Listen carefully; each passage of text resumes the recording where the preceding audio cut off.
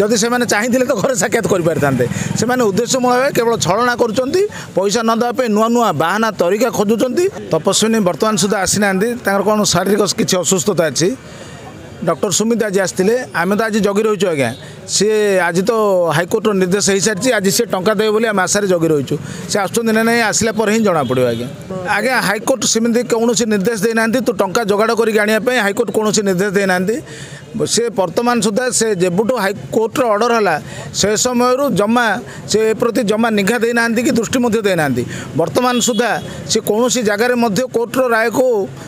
ସପକ୍ଷ କରିନାହାନ୍ତି କାରଣ ସେ ପ୍ରଥମେ ତାକୁ ନେଇ ରାଜରାସ୍ତାରେ ଛାଡ଼ି ଆସ୍କାରୁ ସେଦିନଠାରୁ ଉଭାନ ହୋଇଯାଇଛନ୍ତି ବର୍ତ୍ତମାନ ସୁଦ୍ଧା ତପସ୍ୱିନୀକୁ ସେ ସାକ୍ଷାତ ହିଁ କରିନାହାନ୍ତି ଆଉ ଟଙ୍କା ଦେବା ପାଇଁ ସେ ଜାଣିକି ଯଦି କେଉଁଠି ଲୁକିକି ଥିବେ ମୋ ଦେହ ଭଲ ନାହିଁ ବୋଲି ଥିବେ ସେଥିପାଇଁ ମୁଁ କିଛି ଉତ୍ତର ଦେଇପାରିବି ନା କାରଣ ସାକ୍ଷାତର ସମୟ ରହିଥିଲା ତପସ୍ୱିନୀ କାହିଁକି ଆସିଲେ ତପସ୍ୱିନୀ